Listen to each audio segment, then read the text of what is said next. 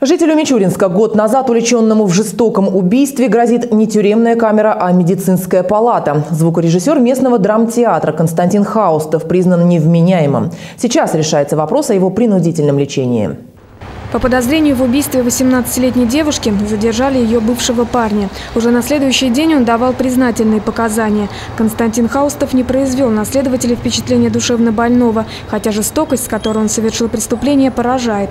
Задержанный заранее подготовился к убийству. К бывшей возлюбленной пришел с удавкой, ножом и розжигом для углей. Истерзанное тело девушки обнаружила ее мать, на крики которой сбежали соседи.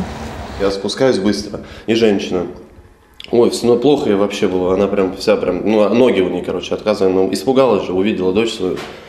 Вот. Ну, я подхожу к этой женщине, говорю, что случилось, что такое, вот, Аня, Аня, что-то вся обколотая, заколотая, что-то я, ну, я подумал, обколотая, может, мало ли что, может, колется там, может, наркоманка какая-то.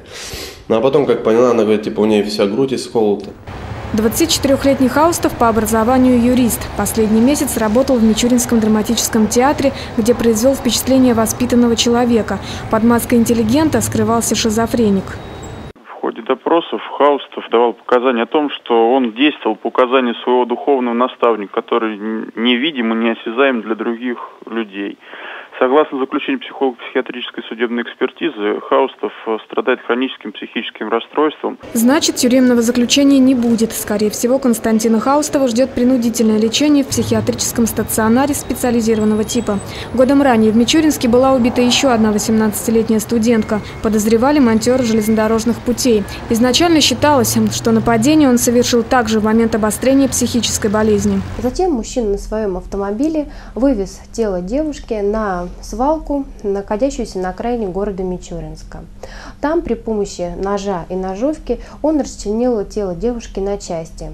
Затем сделал несколько снимков каждой из э, фрагментов тела. Вот, и затем разбросал их э, на свалке среди бытового мусора. С доказательствами его вины и психического расстройства дело направили в суд, но через два месяца работника РЖД признали вменяемым и оправдали. Однако Верховный суд направил дело на новое рассмотрение. Вердикт еще не вынесен. В момент преступления, когда уже ничего не исправить, болезнь проявилась у жителя Рассказова. Трагедия случилась летом 2011-го. За 10 минут Александр Михалев порезал ножом 8 человек, в том числе свою жену. При этом называя себя дьяволом. Областной суд направил его на принудительное лечение. Валентина Слукина, Александр Щеднов, Область новостей.